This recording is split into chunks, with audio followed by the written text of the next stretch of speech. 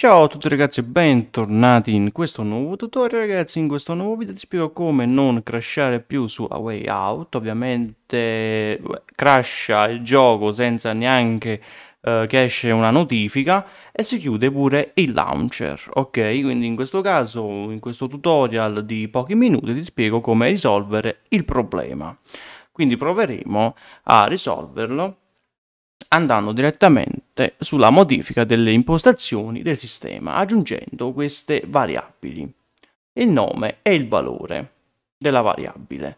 Quindi in questo caso vai sulla barra di ricerca, pannello di controllo,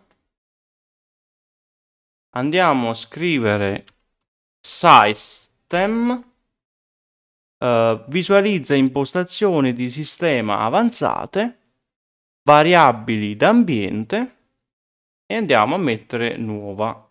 Nome variabile. Mettete questo. E come valore variabile mettete quest'altro. Ok? E fate incolla e fate ok.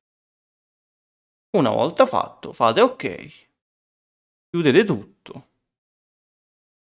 e riavviate così il vostro sistema operativo. Quindi se ti è stato utilissimo iscriviti, lascia like e se hai problemi commenta e vediamo con un'altra soluzione. Quindi grazie a tutti per questa visione e noi ci vediamo ad un prossimo video. Ciao!